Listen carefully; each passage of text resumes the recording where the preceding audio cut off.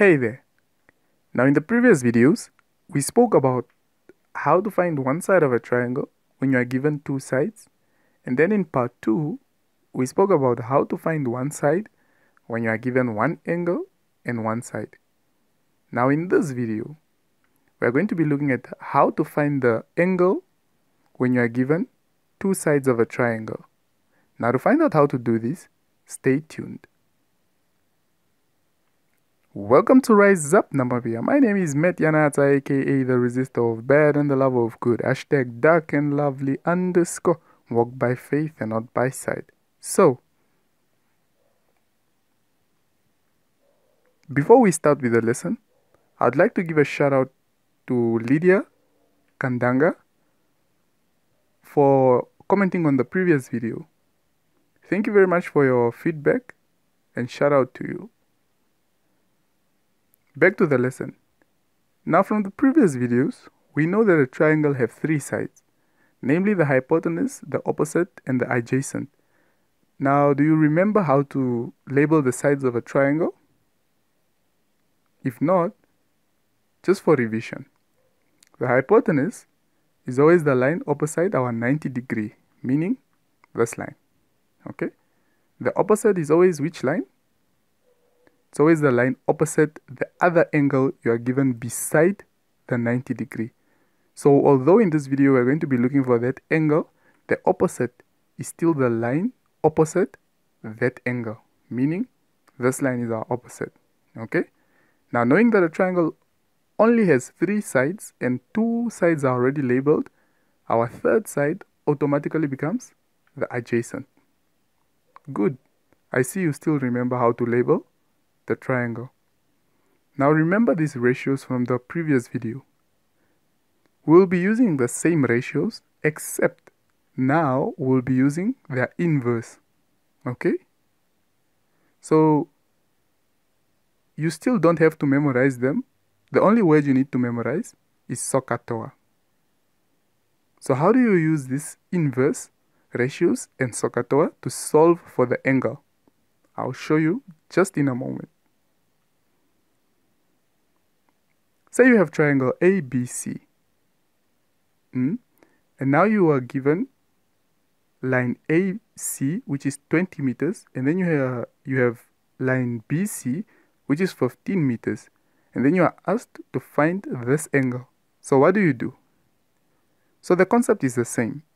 Number one, always label your sides, okay? So what are your sides? Let's start with the hypotenuse. Which side is the hypotenuse? We check on our 90 degrees here. So the hypotenuse will be this line. Good. So which one is our opposite? The opposite is always the line opposite the other angle, which is not the 90 degree. So it will be this one. Now knowing that a triangle has three sides and two sides are already labeled, the third side automatically becomes our adjacent. Good. Now after you have labeled your sides, you want to bring out your word SOHCAHTOA. Okay? Now that your word SOHCAHTOA is here, you check your labelings. Your opposite, do you have a figure for it? Yes, you have 15 meters. Your hypotenuse, do you have a figure for it? Yes, you have 20 meters. Now what about your adjacent? Is there a figure? No, there is no figure except the labeling that it's an adjacent. So when we come back to our third three letter terms here, which is the saw, the car, and the to, we are going to be looking for the term that does not have a a. So which one doesn't have a a in SOHCAHTOA? It's the first one. Okay? So knowing that S stands for sin, we write that sin. But remember, each time you are looking for the in like the angle of a triangle, you always use the inverse of sin and not only sin. Okay? Now, normally when we write our sin, next to our sin, we normally write whatever angle we are given here. Now, since we don't have an angle and we are looking for the angle, we just write the angle's name. So, for example, this angle is A. Okay? Now they differ. Sometimes they can put the the letter like X inside here or maybe A, B, C, D, whatever letter is there. We write our sin, the inverse of sin, and then you label your angles label. Okay? So in our case, our angle is A. So you write the inverse of sin and then your angle, which is A, is equal to. Now when you come from the S, the, next to the S, there is a O. So the O is the opposite. So what is our opposite here? It's 15 divided by, next to the O, there is a H for hypotenuse. So you come to your hypotenuse. What is your hypotenuse? It's 20. So you divide the 15 by 20. Okay? Now very important, you put this into brackets because some calculators don't get the answer like a correct answer if you just type it in like this. Now let me show you how to type the inverse of sin into your calculator. So if you have a calculator like mine here, once you turn it on, it will show like this. Now the first thing you want to do, you want to press the shift button, which is this one. Okay? And then after you press the shift button, since in this case we are looking for the inverse of sin, you press the sin button after you have pressed the shift button. So after you've done that, it should show something like this. Okay? Now once it's showing something like this, you enter your open bracket 15 divided by 20 and then you close the bracket. Then you press your equal sign. So what does your calculator say? What is angle A equal to? It's equal to 48.6 degrees. Okay? And that's your final answer. Let's check out another example. So, I'm going to give you 10 seconds to give it a shot and see if you can get the correct answer. Feel free to pause the video. Okay?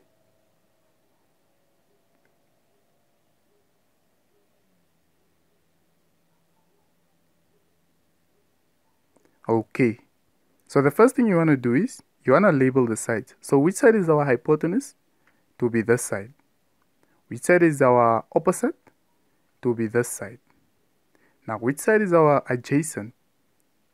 To be on top here. Now which one is not given a figure? So our adjacent is 11, our hypotenuse is 23. We don't have an opposite. So in our word SOHCAHTOA, we look for the three letter term that does not have an O for the opposite. So which three letter term is that one? It's the one in the middle, which is ka, doesn't have a O. So we know in ka the C stands for cos. But now, because we are looking for the angle of the triangle, we don't just use cos. We use the inverse of cos. Okay? And then after we write the inverse of cos, normally we will write whatever angle we are given. But in this case, since we are not given an angle, we write the angle's name. Whether it's A, B, or what. But in this case, this angle's name is B. So we write there, the angle B is equal to what? Then you come back to your car. Next to the C, you have a A for adjacent, which means 11. So 11 divided, what is by, by our hypotenuse? What is our hypotenuse? It's 23. So we divide it by 23. Now remember, very important, you put them into brackets. Now into your calculator, you type again the shift and then the cos to get the inverse of cos and then open bracket 11 divided by 23 then you close the bracket and then the equal sign. So your answer will be 61.4 degrees. And that's your angle B okay? So before we check out the last example how are you finding this video? Is it helpful? If yes please do support the channel by giving us a huge thumbs up. So back to the lesson. Let me quickly give you 10 seconds to give a shot and see if you'll get the correct answer.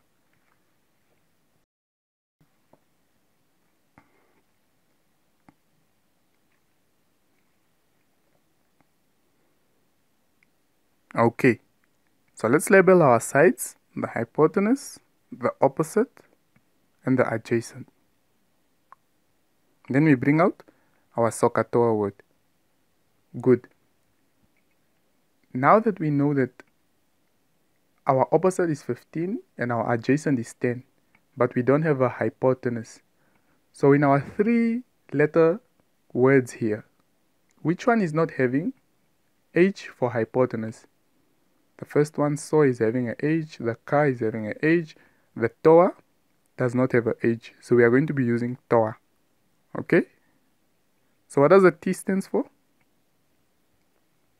It's the tan. Now not just tan, but the inverse of tan. Why is it the inverse of tan? Because we are looking for the angle.